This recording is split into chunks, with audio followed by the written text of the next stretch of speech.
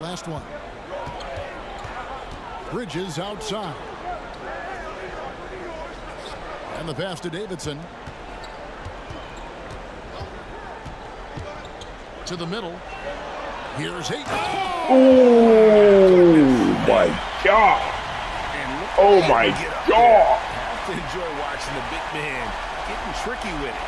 Nice job capturing the moment. Oh my god.